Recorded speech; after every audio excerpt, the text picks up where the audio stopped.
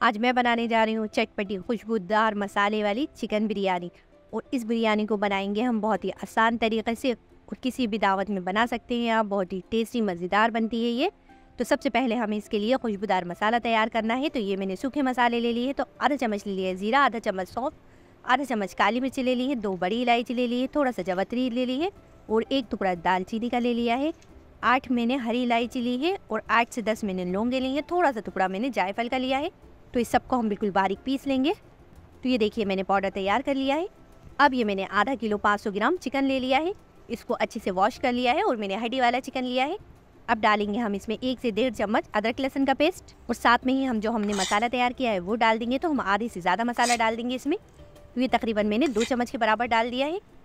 अब ये मैंने आठ ले ली है हरी मिर्ची, इनको दर दरा पीस लिया है। अब डालेंगे हम इसमें सूखे मसाले। तो मैंने एक बड़ा चम्मच धनिया ले लिया है, आधी चम्मच पिसी लाल मिर्च, आधा चम्मच ले लिया है कश्मीरी लाल मिर्च, आधा चम्मच ही हल्दी लिया है और आधा चम्मच ही मैंने भुना हुआ ज़ीरा पाउडर लिया है। अब डाल देंगे साथ में ही नमक और थोड़ा सा डालेंगे हम इसमें ऑरेंज फ़ूड कलर और एक चम्मच के बराबर डालेंगे हम इसमें केवड़ा वाटर और ये आधी कटोरी मैंने दही ले लिया है। और एक मुट्ठी डालेंगे हम इसमें पुदीना और एक मुट्ठी डालेंगे इसमें धना, धनिया। अब सारी चीज़ों को अच्छे से मिक्स कर लेंगे। तो ये देखिए, सारे मसाले चिकन के साथ अच्छे से मिक्स हो गए हैं। अब इसे रखेंगे हम तकरीबन आधे घंटे के लिए मेरीनेट होने के लिए।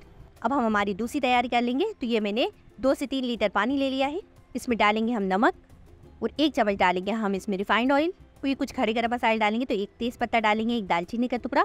आधा चम्मच मैंने ले लिया है ज़ीरा और मैंने आठ से दस काली मिर्ची ले ली है और दो तीन हरी मिर्ची ले ली है काट के। अब इसमें हम बॉयल आने देंगे अच्छा। तो ये देखिए, हमारे पानी में बॉईल आ गया है। इसमें डालेंगे हम आधा नींबू का रस। और अब हम इसमें चावल डालेंगे। तो मैंने आधा किलो ही बासमती चावल लिए हैं, उनको अच्छे से वॉश कर लिया है। तो सारे चावल मैंने डाल दिए अब एक बार अच्छे से इसको चला लेंगे। अब हम इसे तकरीबन 80 परसेंट तक गलने तक पका लेंगे चावलों को।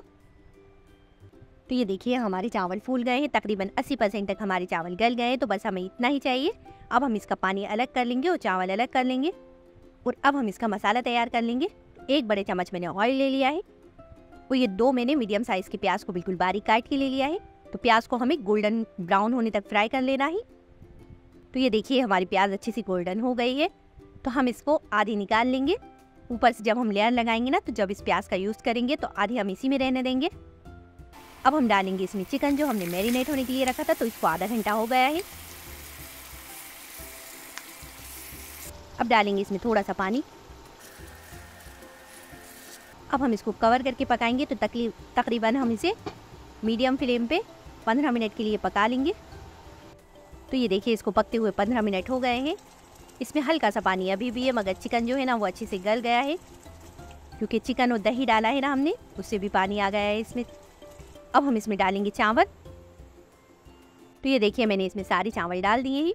अब डालेंगे हमारा जो मसाला तैयार करके रखा था हमने, वो थोड़ा सा इस तरह से ऊपर से बुरक देंगे हम मसाला। और ये मैंने ऑरेंज फ़ूड कलर को केवड़ा वाटर में भिगा कर रखा था तो इसको भी डाल देंगे हम। ऊपर से डालेंगे हम तली हुई प्याज जो हमने फ्राई करके रखी थी। अब डालेंगे धनिया और पुदीना ऊपर से। अब लगा देंगे हम इसके ऊपर ये फॉइल पेपर इससे जो है ना स्टीम इसके अंदर ही रहेगी, बाहर नहीं आएगी और ये अच्छे से दम हो जाएगा। अब इसके ऊपर हम ढक्कन ढक देंगे तो ये अच्छे से सील हो जाएगा। तो तकरीबन हम इसे 15 से 20 मिनट के लिए दम के लिए रखेंगे और गैस का जो बिल्कुल लो वाला फ्लेम होता है ना, हम उस पर रखेंगे इसे। और अगर आपका जो जिस बर्तन में आप बिरयानी बना रहे हैं, वो अगर पतला है तो इसके नीचे तवा लगा दें। तो पंद्रह मिनट हो गए हैं, अब हम चेक कर लेंगे, अच्छे से दम हो गई है तो मैंने गैस को बंद कर दिया था। तो ये देखिए, तैयार हो गई है हमारी लाजवाब बिरयानी। ये देखिए, कितनी अच्छी बनी है, एकदम खिली खिली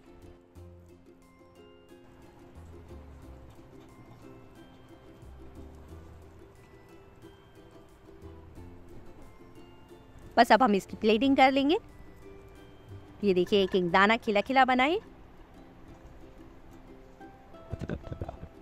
तो ये देखिए तैयार हो गई है हमारी बिरयानी।